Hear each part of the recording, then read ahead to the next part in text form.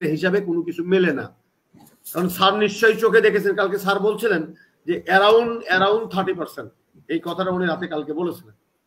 এবং উনি বলেছিলেন নির্বাচনে আবহাওয়াটা হলো যে উপনির্বাচনের মতো। যে উপনির্বাচনে কি হবে, গেলাম গেলাম না, স্যার বলছিলেন। আমি তো মনে করি উপনির্বাচনটাকেও অপমান করা হবে এই কথা বললে। যে অবস্থা আপনি বলছিলেন, জাতীয় পার্টি দশটা। এটি তো আমি মনে করি যে অনেক বেশি আসন তারা পেয়েছে।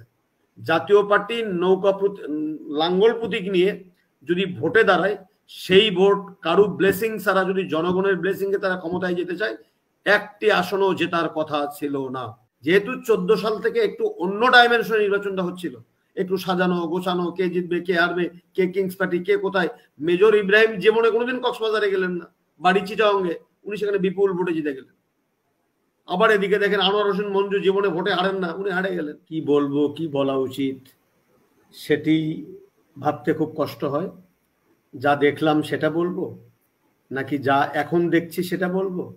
নাকি বিহাইন্ড দ্য সিন যেটা দেশবাসী আজকে ভার্চুয়াল জগতের মাধ্যমে দেখছে সেটা বলব? আমার শ্রদ্ধেয় কলিমুল্লাহ স্যার তো সবসময় একটু কাল থেকে দেখছি, বলছে না যে ভোটটা কেমন হচ্ছে? কারণ উনি যেভাবে দেখছেন, আমরা কিন্তু কেউ এভাবে দেখিনি। হয়তো টুডে অ্যান্ড টুমোরো স্যার কথা বের হয়ে যাবে। এটা আমরা সেই দিন পর্যন্ত অপেক্ষা করছি আর কি। দেখেন, আপনি ওয়েস্টমিনিস্টার পার্লামেন্টারি সিস্টেমের দেশে আপনি থাকেন। আপনি যাকেন পার্লামেন্টের ম্যাচ শেষ হওয়ার পরে প্রধানমন্ত্রী যে পদত্যাগ করে রানীর কাছে। রানীর কাছে পদত্যাগ করার পরে পার্লামেন্ট ডিজলভ হয়ে যায়, তারপরে রানী বলেন তাদেরকে অন্তর্বর্তীকালীন রাষ্ট্র পরিচালনা করার জন্য। আমার দেশে কিন্তু সেরকম হয় না। পঞ্চদশ সংশোধনীর মধ্য দিয়ে ওয়েস্টমিনিস্টার সিস্টেমের এটি একটা জগা খিচুড়ি মডেল বাংলাদেশে তৈরি করা হয়েছে। যে তিনশো আসন তার পার্লামেন্টে বলবৎ থাকবে। তিনশো সরি মেম্বারশিপ বলবৎ থাকবে এবং তারা রাষ্ট্রের সকল সুযোগ সুবিধা গ্রহণ করে তারা নির্বাচনে অংশগ্রহণ করবেন। তারপরে পরবর্তী তিনশো জন শপথ নেবেন, তারপরে এই পার্লামেন্ট ডিজলভ হবে। তো এটি তো ওয়েস্টমিনিস্টার পার্লামেন্টারি সিস্টেমের সাথে তো চরিত্রগত কোনো মিল নেই। এবং দেখেন এই চরিত্রগত মিল না থাকার কারণে আমি কাল থেকে একটা জিনিস ভাবছিলাম। স্যার, এটা আরও ভালো ক্লিয়ার করতে পারবেন। আমি সারাদিন বিভিন্ন টেলিভিশন চ্যানেল দেখছিলাম। আমি কোথাও যেটি আজকে পত্রিকায় দেখলাম, কোথাও কোথাও ভাবছিলাম যে এত ফাঁক ফাঁক করে লাইন কেন? ভোটাররা তো গায়ে গায়ে ঠেকায় লাইন দেয়। পরে আজকে দেখলাম যে এটি যখন মিডিয়া গেছে, পর্যবেক্ষকরা গেছে, তখন তারা লাইনটা দিয়েছে। ভোটার কেউ না। তারপরে যেই মিডিয়া চলে গেছে বা পর্যবেক্ষক চলে গেছে, আবার লাইনটা ভেঙে গেছে। আমি কিন্তু কালকে এটার উত্তরটা পাইছিলাম না, আজকে উত্তরটা আমি পাইলাম। তারপরে দেখলাম যে কোনো কোনো জায়গায় বিশাল বড় বড় ধাক্কা দেখি। ঘটনাটা কি ধাক্কা দেখি কেন? সেটাও দেখলাম যে একই কাহিনী। আবার দেখলাম যে যমুনা টেলিভিশনের ক্যামেরাম্যান ছোট চোদ্দ পনেরো বছরের বাচ্চাদের পেছনে দৌড়াচ্ছে, ওই বাচ্চাও দৌড়াচ্ছে। পরে চিন্তা করলাম, এরা দৌড়াদৌড়ি করে কেন ভোট সেন্টারে? ক্যামেরা পার্সন এবং তারা। পরে দেখলাম যে এরা সবাই কেউ ভোটার না এবং এরা হলো সব তরতাজা, কৈশোর জীবন। তারা নৌকা মার্কায় ভোট দেওয়ার জন্য এবং একজনকে জিজ্ঞেস করল, সে তার নাম বলতে পারে না, তার আইডি কার্ড নাই স্লিপের সাথে তার নামের মিল নাই, এগুলো দেখলাম। চিন্তা করলাম, কি হচ্ছে, হচ্ছেটা কি? তারপরে বারোটার সময় দেখলাম, বলা হলো যে ভোটের একটা পার্সেন্টেজ বলা হলো। তারপরে খালেদ মহিউদ্দিন, তিনি ডয়েসেভেলের তিনি হেড অফ নিউজ স্টেশন উনি বললেন দুই পার্সেন্ট তিন পার্সেন্ট চার পার্সেন্ট ভোট হয়েছে। উনি বারোটার দিকে একটা স্টেটমেন্ট করলেন লাইভ করলেন ওনার দল নিয়ে। আমি মনে করলাম যে এটা চার পাঁচ পার্সেন্ট হতে পারে দুই তিন এটা ঢাকাতে যেহেতু লোকজন নাই নিশ্চয়ই গ্রামে কিছু লোকজন তো বেশি হবেই। যাক, এরপরে তিনটার সময় একটা স্টেটমেন্ট করা হলো ইলেকশন অফিস থেকে, যে সেখানে বলা হলো যে সাতাশ পয়েন্ট সিক্সটি থ্রি বা সামথিং এরকম একটা ভোট কাস্ট হয়েছে। তখন সময় আছে আর এক ঘণ্টা। আমি চিন্তা করলাম যে এটা কত হবে? এটা পঁচিশ, ছাব্বিশ বা সাতাশ সাতাশ এর মধ্যেই থাকবে। বাড়ার তো কথা না, এক ঘন্টায়। কিন্তু এটি যখন ইলেকশন শেষ না হতেই নির্বাচন কমিশনার চিফ নির্বাচন কমিশনার আসলেন তিনি কিন্তু বললেন যে around twenty eight percent vote হয়েছে। পেছন থেকে একজন বললেন যে না না না এটা চল্লিশ পার্সেন্ট এটা কিন্তু শোনা গেল। লাইভ হচ্ছিল যেহেতু এটা এখন তো একচল্লিশ পার্সেন্টে গিয়ে দাঁড়িয়েছে।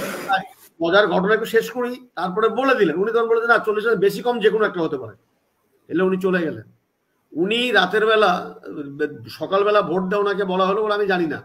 ভোট কে আসলো কে আসলো না ভোট কি হলো না হলো এটা আমার কোনো দায়িত্ব নয়। আয়োজন করার দরকার ছিল, আয়োজন করে দিয়েছি। মানে উনি কোনো দায় দায়িত্ব নিলেন এবং অনেক বিরক্তি ভাব আর কি।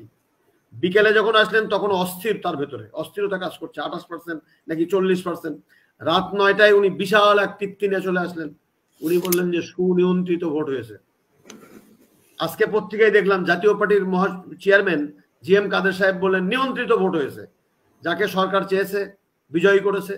যাকে চায়নি সে বিজয়ী হতে পারেনি। এটা জিয়াউল হক মানে কি আমাদের জি এম কাদের সাহেবের বক্তব্য। তারপরে কুরবানি টুরবানি তো সব অনেক কিছু আছে। কুরবানি হলো, মাংস বন্টন হলো সেগুলো আমরা দেখলাম রাতের বেলা এখন মজার ঘটনা হলো, যদি আপনি সার্বিক নির্বাচনী অবস্থা যদি আপনি চিন্তা করেন, তাহলে আপনি মিলাতে পারবেন না। অঙ্কের হিসাবে কোনো কিছু মেলে না।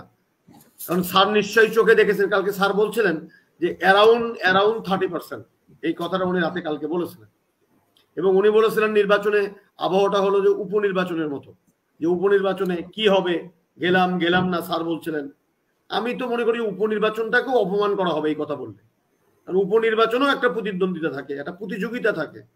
কিন্তু এই নির্বাচনে আমি আজকে দেখলাম যে ছাব্বিশটি দল ভেতরে, যে আঠাশটি দল নির্বাচন, সাতাশটি দল যে নির্বাচন আওয়ামী লীগের সাথে করেছে, তার বাইশটা দলের সবার জামানত বাজেয়াপ্ত হয়ে গেছে।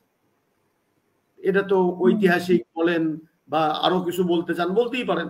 যে যাদেরকে নিয়ে এত গল্প আমরা করলাম যে আঠাশটি দল নির্বাচন অংশগ্রহণ করছে, সংখ্যাগরিষ্ঠ দল অংশগ্রহণ করছে, বিএনপি না আসলে কি হবে, ইত্যাদি ইত্যাদি।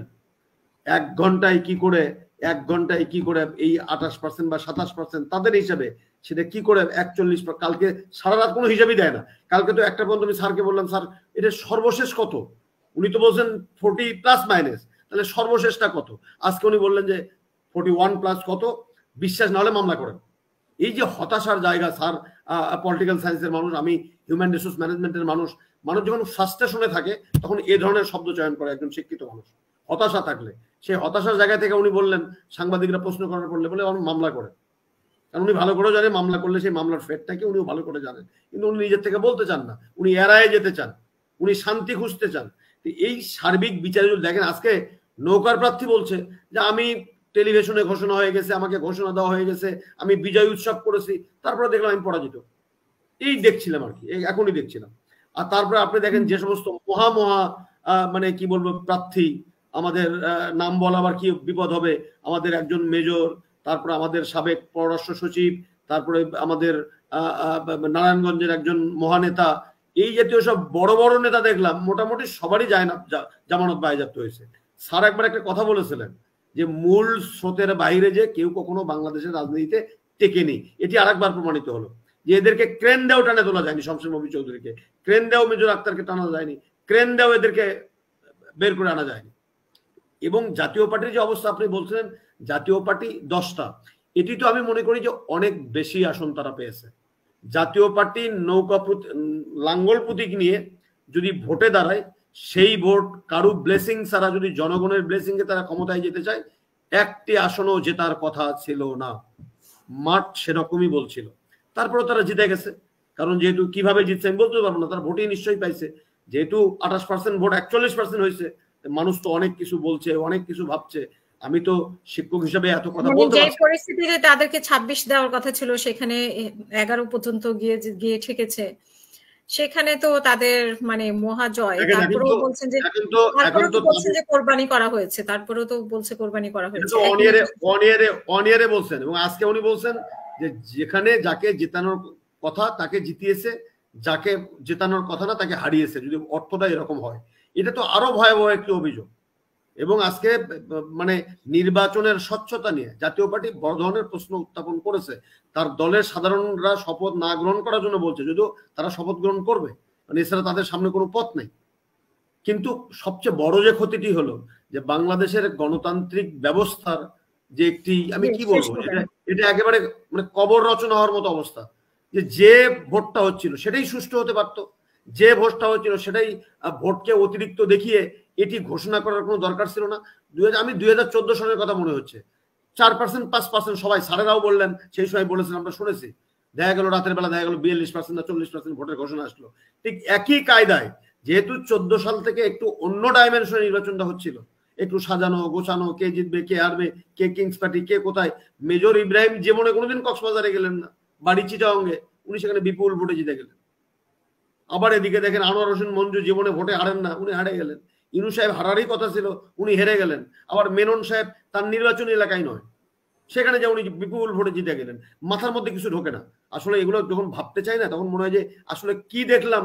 ওই যে মনে হয় যা ওই যে হায়দার সাহেবের একটা গানের কথা মনে হয় যে যা দেখার কথা ছিল কি একটা আছে না তিরিশ বছর পরে আমি স্বাধীনতার কথা বলছি এই কথা। এখন কানে দিয়া আপা শোনো এখন কানে দেয়া বলতে হয় মন্দ কিছু শুনব না। আর চোখে হাত দিয়ে বলতে হচ্ছে যে মন্দ কিছু দেখব না। আর মুখে হাত দিয়ে বলতে হবে যে মন্দ কিছু বলব করে রাখেন। পাঁচটা বছর মুখ কান চোখ সব বন্ধ করে রাখেন পাঁচ বছর করেছিলাম করেছিলাম কিন্তু আপনি ডাকলেন এই জন্য চলে আসলাম। যে কিছু কথা অন্তত বলি যে এটি ভোটের নামে যা হয়েছে সেটি না হলে একজন নাগরিক হিসাবে আমি শান্তি পেতাম প্রশান্তি পেতাম আমার মনের এই অস্থিরতা হতো না। এবং দেশবাসীর যে কষ্টটা আছে সেই কষ্ট দেশবাসীও পাইতো